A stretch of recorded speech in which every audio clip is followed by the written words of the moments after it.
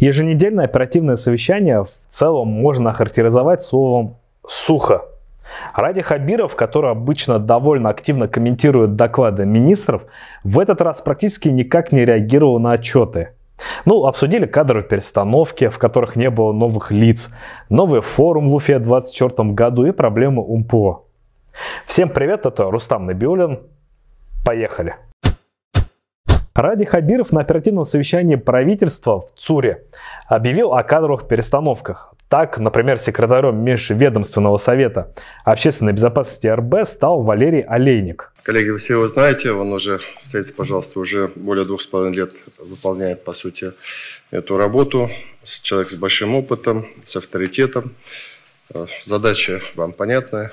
И, безусловно, это кадровое назначение очень ответственное для вас должно быть. Ну, также продолжайте с трудовой энергией работать.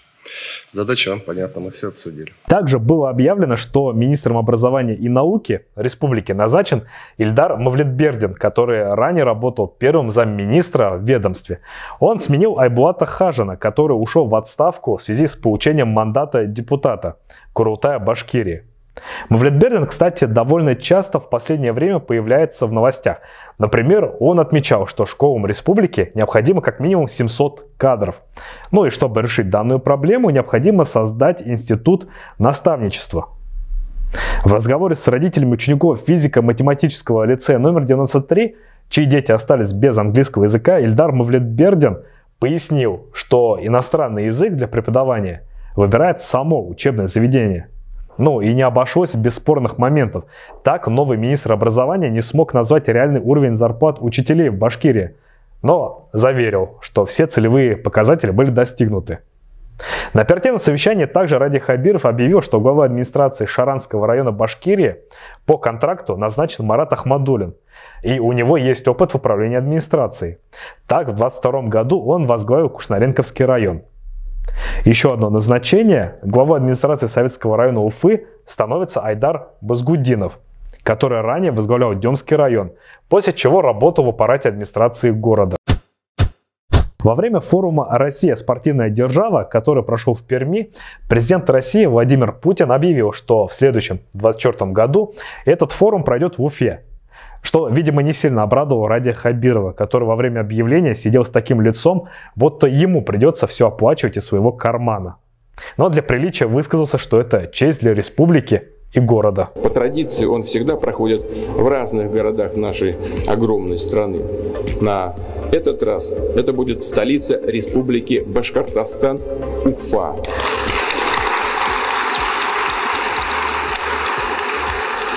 Этот форум э, станет одним из важных элементов э, больших торжественных мероприятий, посвященных 450-летию Уфы.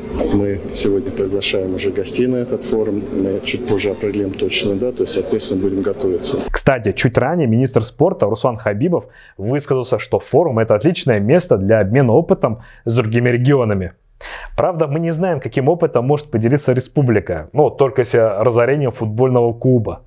Видимо, все еще в шоке от произошедшего, Ради Хабиров ничего не стал комментировать.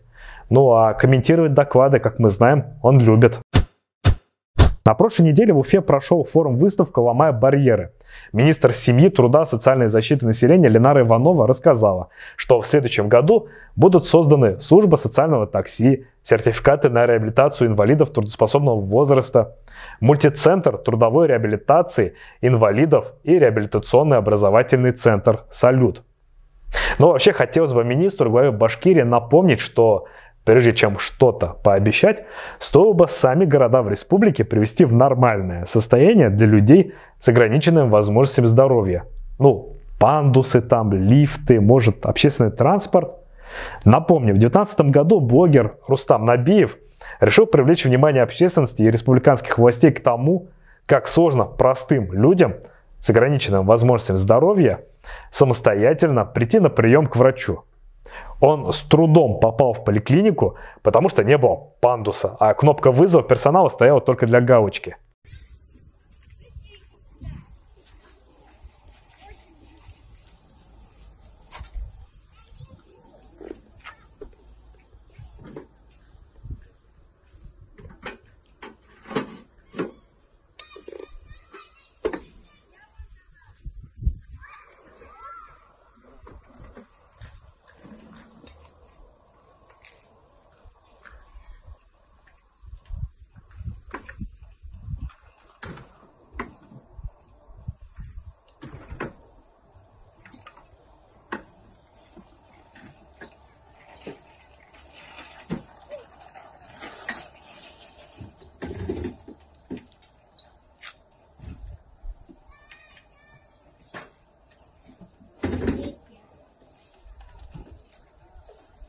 Или взять, например, здание, где расположено Всероссийское общество инвалидов.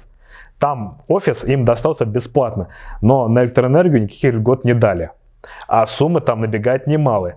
Так как офис на первом этаже витринные окна выходят на тенистую улицу, поэтому там всегда холодно. Приходится использовать обогреватель-кондиционер, который повесили прямо над дверью, из-за чего за 6 лет общество накопило 160 тысяч рублей долга по электроэнергии. Оплатить нечем.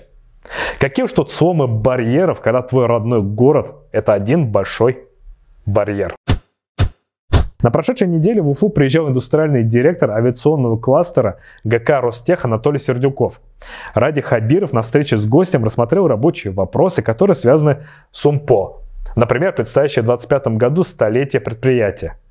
В связи с этим на оперативку пригласили управляющего директора ПАО ОДК УМПО Евгения Семивеличенко, который пришел, как нам кажется, с одной только целью – сагитировать народ в поступление в ряды заводчан. Так, предприятие загружено контрактами до 2028 года, а поэтому необходимо набрать 4800 человек. Спасибо за предоставленную возможность выступить на совещании. И, наверное, в первую очередь для того, чтобы донести информацию про ОМПО, про наш завод до всех руководителей э, районов, муниципалитетов, для того, чтобы рассмотреть наши потребности и наше, наше дальнейшее развитие. Так Евгений Семивеличенко рассказал, что средняя зарплата на предприятии неизменно растет и в 2023 году достигнет 90 тысяч рублей. Также он рассказал о перспективах работы. Дескать, зарплата высокая, ну, правда, с переработками, если есть шестой разряд, есть надбавки за знание иностранных языков, ну и прочие плюшки. Правда все это или нет, неизвестно. Только вот на сайте по поиску работы указана зарплата ниже – 60 тысяч рублей. Управляющий директор попросил помощи у правительства Башкирии в привлечении сотрудников и масштабной информационной поддержки. Я бы не сказал, что у предприятия агитация слабая. Она очень даже мощная и активная, но если Евгений Семивеличенко пришел в правительство за помощью, значит она не сильно помогает. Хабир уже поддержал предложение и поручил прикрепить к предприятию несколько колледжей из регионов Башкирии, но для более глубокой интеграции. Таким было оперативное совещание, прошедшее в понедельник. Ставьте лайки, подписывайтесь на наш канал, не забывайте про наш телеграм-канал и присылайте донаты. Все вместе мы сделаем республику великой, потому что другие не справляются.